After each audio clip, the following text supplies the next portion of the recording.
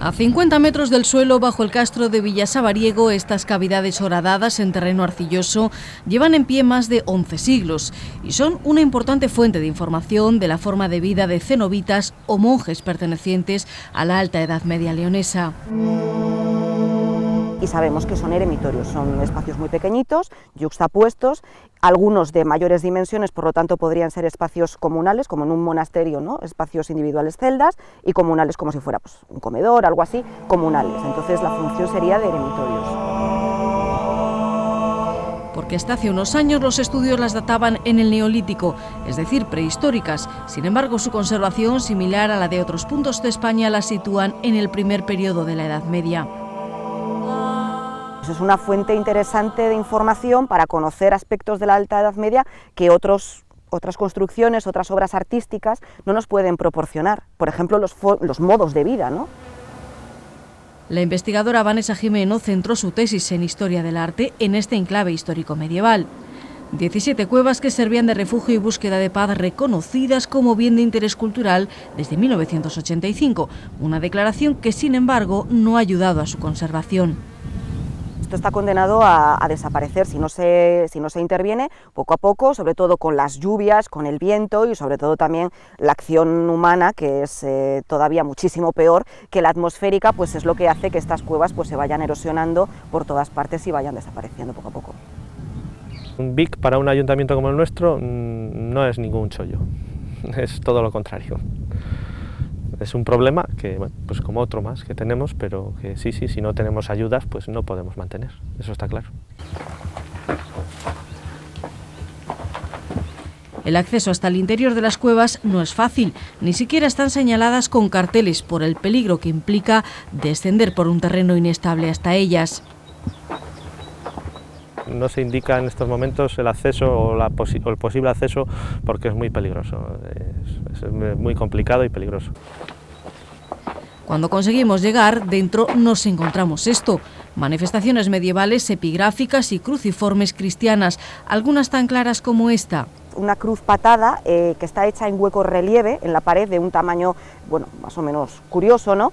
Eh, que estaría eh, destinada para encajar una cruz de fábrica, sería como una cruz portátil que se colocaría en el interior. Entonces lo que queda es ese hueco en el cual se, se encajaría dentro esa cruz y está en una de las paredes de la cueva.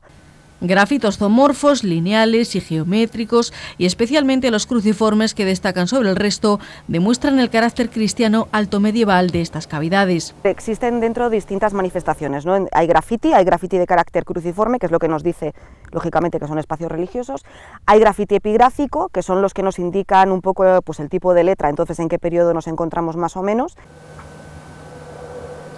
a pesar de estar bajo un horizonte petrocálcico donde la arcilla está más endurecida, creando una visera de protección, el tiempo amenaza con borrar y destruir estas cuevas ermitañas.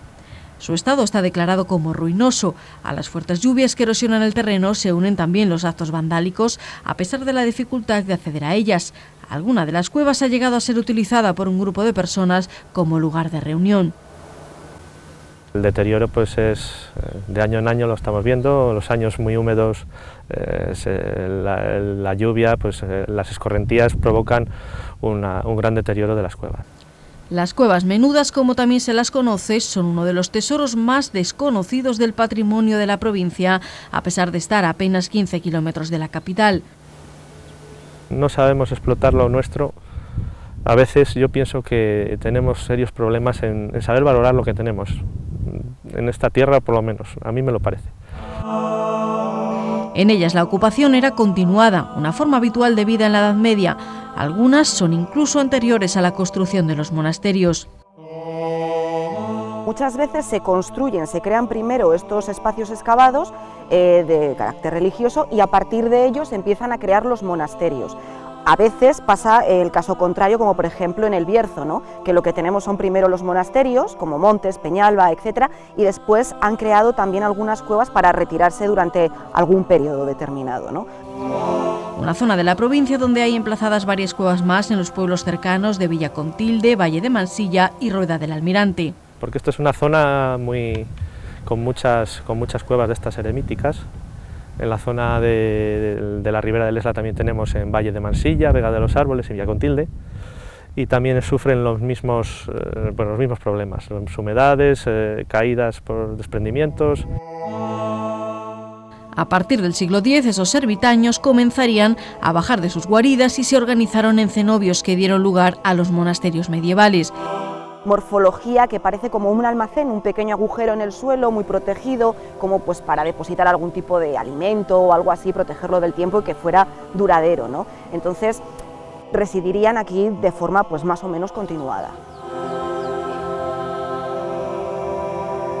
Estas cuevas llegaron a poseer más dimensión de la actual al distribuirse en varios pisos. Sin embargo, en la década de los 30 las estancias inferiores se taponaron para evitar los resbalones y accidentes de los que acudían a verlas. El conjunto de Villa Sabariego forma parte de la riqueza arqueológica de este pueblo, junto al yacimiento de Lancia, al que la multitud de trabas burocráticas impide ver en todo su esplendor. Tenemos un yacimiento ahí, una hectárea y media, mm, vallada de aquella manera. Eh, es responsabilidad de Diputación. Diputación dice que no tiene fondos para cometer lo que debería, eh, se debería cometer, una, excavación en regla y un estudio arqueológico importante. Y bueno, pues el ayuntamiento es un ayuntamiento pequeño y tampoco tiene muchos medios. Eh, arreglar caminos y poco más eh, para hacer los accesos a ello. Pero hay que darnos cuenta que Lancia mm, son más de 30 hectáreas lo que era la ciudad. Incluso ahora aquí mismo seguramente si excavamos encontramos algún resto. Es inmenso lo que tenemos aquí, el potencial, si, si de verdad hubiera fondos públicos para hacerlo, o privados también, ¿por qué no? Pues sería inmenso el potencial que tendría esta, este yacimiento arqueológico, que ahora mismo, pues como veis, está pues o de monte o, o como, o como fincas de labor.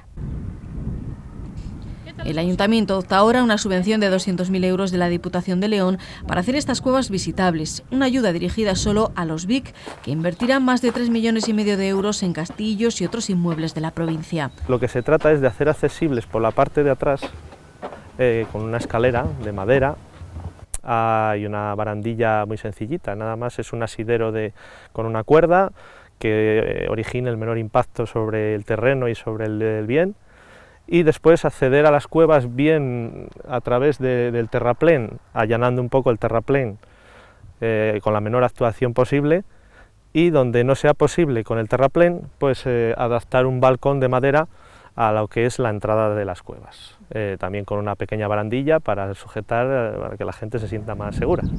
Pero su condición de BIC le obliga a un estudio minucioso por parte de patrimonio y ahí la Junta pone como requisito que la intervención que permita que se puedan visitar tenga el menor impacto patrimonial posible. La actuación dentro de las cuevas pues consiste en, eh, en consolidar lo que es el terreno, evitar las humedades y eh, pues poco más. Lo que pasa es que es una obra compleja que hay que hacerla en trabajo vertical casi toda, no se puede meter maquinaria, entonces lleva mucha mano de obra y es bastante complicada. Eremitorios similares se conservan en el Medio y Alto Ebro, en los valles del Bierzo, en Santander y mucho más cerca en Palencia, donde cuentan incluso con una ruta turística por los espacios excavados. Todo ayudará a, pues dar un poquito de visión a nuestro ayuntamiento, poner en valor las cosas que tenemos, pues eh, bien el yacimiento, bien las cuevas, eh, todo en general y por qué no la ruta senderista pues también. Hay gente que le gusta pasear, estamos cerca de León, pues eh, y es muy cómoda, es muy fácil de realizar. Yo creo que viene bien. Si finalmente el proyecto recibe luz verde de patrimonio y llega a la subvención de 200.000 euros de la Diputación, los trabajos se alargarían al menos un año por la dificultad de una intervención en vertical. Hay mucha gente que no conocía estos parajes o dice, bueno, yo desde pequeño no voy por allí y tal. Y ahora, pues eh, los domingos eh, te encuentras grupos de gente por aquí en la bicicleta andando y bueno, pues vienen, se dan un paseo y bueno, pues mira, qué vistas tienes. En días despejados ves hasta el Teleno. En pleno camino de Santiago y con una ruta senderista que lo bordea, el proyecto es una oportunidad para descubrir un paraje con un importante potencial arqueológico desconocido todavía para muchos.